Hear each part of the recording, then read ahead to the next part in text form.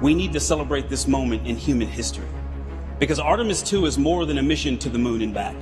It's more than a mission that has to happen before we send people to the surface of the moon. It is the next step on the journey that gets humanity to Mars.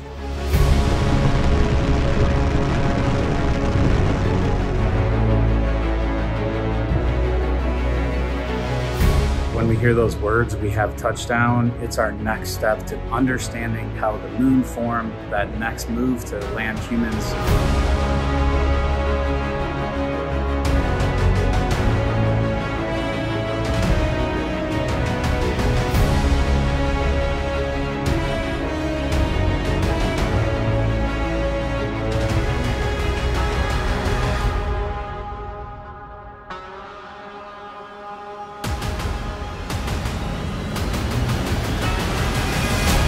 You've got to see the X-59 because it is one cool airplane.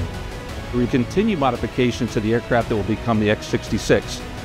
When you have a space mission into an unknown place, you find remarkable things that you did not anticipate. This mission is going to be game changing. Virtually everybody on this Earth is going to be affected by the science data that NISAR is going to return. At any given moment, we have 140 active missions across the solar system. NASA science is literally everywhere. Science enables exploration, and exploration enables science.